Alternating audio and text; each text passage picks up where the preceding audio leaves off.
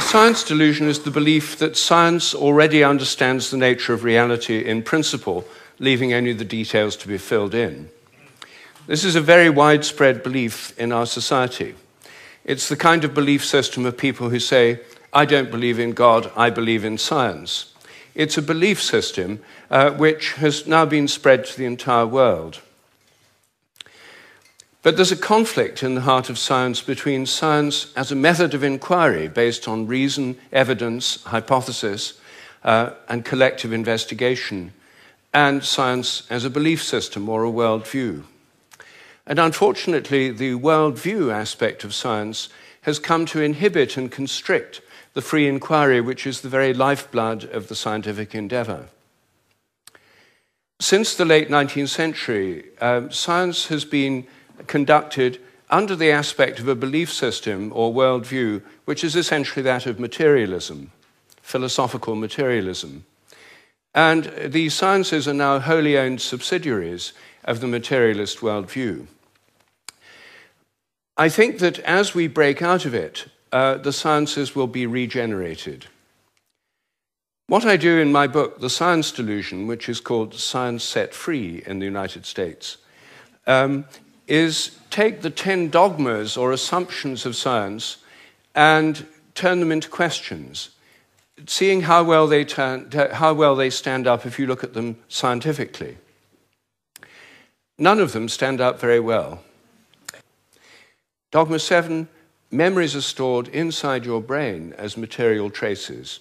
Somehow, everything you remember is in your brain in modified nerve endings, phosphorylated proteins. No one knows how it works, but nevertheless, uh, almost everyone in the scientific world believes it must be in the brain. Dogma 8 your mind is inside your head. All your consciousness is the activity of your brain and nothing more. Dogma 9, which follows from Dogma 8, psychic phenomena like telepathy are impossible your thoughts and intentions cannot have any effect at a distance because your mind's inside your head. Therefore, all the apparent evidence for telepathy and other psychic phenomena is illusory. Um, people believe these things happen, but it's just because they don't know enough about statistics, or they're, they're deceived by coincidences, or it's wishful thinking. And dogma 10 mechanistic medicine is the only kind that really works. That's why governments only fund research into me mechanistic medicine uh, and ignore complementary and alternative therapies. Uh, those can't possibly really work because they're not mechanistic. They may appear to work because people would have got better anyway uh, or because of the placebo effect. But I think every one of these dogmas is uh, very, very questionable. And when you look at it, uh, it, it turns, they, they fall apart. One of the biggest areas is the nature of the mind, uh, that science simply can't deal with the fact we're conscious. Um, and it can't deal with the fact that our thoughts don't seem to be inside our brains.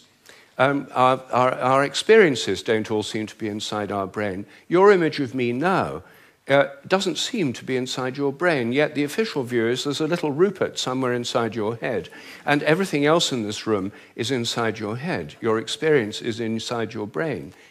And I think as we question these uh, dogmas that have held back science so long, um, science will undergo a reflowering, a renaissance. I'm a total believer in the importance of science. I've spent my whole life as a research scientist, my whole career.